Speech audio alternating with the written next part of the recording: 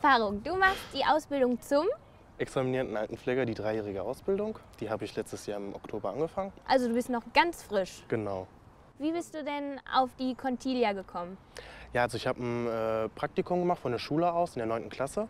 Und dann habe ich mal angerufen und habe dann nachgefragt, ob die Interesse haben, einen Praktikanten aufzunehmen für drei Wochen. Und ähm, ja, das hat dann geklappt hier im Seniorenschirm St. Laurentius.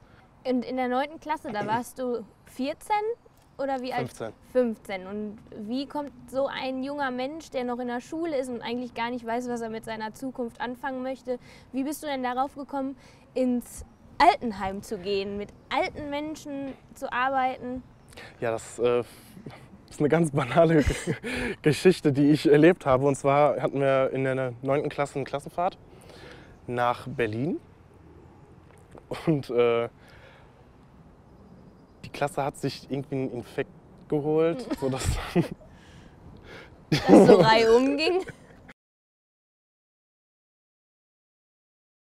Wenn ich mir jetzt den Beruf des Altenpflegers äh, vor, mir vor Augen halte, dann sehe ich Nachtschichten, Wechselschichten. Ich muss arbeiten, wenn meine Freunde zu Hause sind. Wie schaffst du das? diese Wechseldienste, die ich hier habe, finde ich jetzt überhaupt kein Problem für mich. Im Gegenteil, ich also ich nutze zu meinem Vorteil.